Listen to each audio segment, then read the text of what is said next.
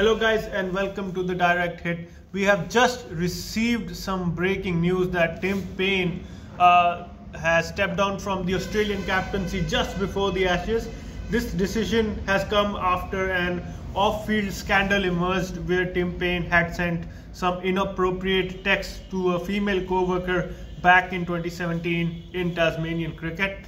And uh, according to the statement of Mr uh, Richard Freudenstein, the chairperson of Cricket Australia, he says that uh, you know the, the the decision has been taken by Paine in the best interest of his family and the Australian cricket. And while the board acknowledges that an investigation has cleared Tim of these actions, uh, you know uh, the the board does not tolerate such actions, and he has thanked Tim Paine for the services that he has done as the Australian skipper over the years. Now, the, this leads to the next question. Who will be the next Australian captain?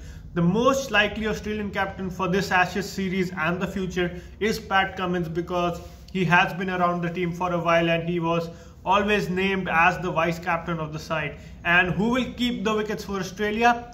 And uh, I think it will be Tim Paine only because uh, CA chairperson Mr. Richard also clarified that he will be available uh, for selection throughout the Ashes summer and going forward. So this was the big breaking news that we wanted to break to you.